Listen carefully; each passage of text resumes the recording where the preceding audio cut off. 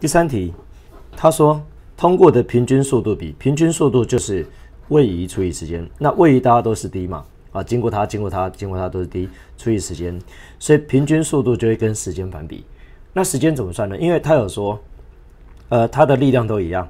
那 F 可以把它写作 ma，这个 F 一样。那子弹的 m 不会变，所以加速不变，它是一个等加速。所以等加速呢，我要算时间比，我可以画 v-t 图，它是噔噔噔噔噔变成零，OK，因为他说经过这边刚好变零。那距离一样，距离一样就是面积一样，这个 d，这个 d，这个 d，那就算这三个时间比，OK。那这三个三角形，你看到这个三角比上这个三角比上这个三角会相似，那面积一二三，边长就一。比根号到这边呢，比根号二，比根号三，OK，一比根号二到这边根号二，到这边根号三。那你看哦，如果到这边，如果到这边是根号三，那到这边是根号二，所以这个就根号三减根号二。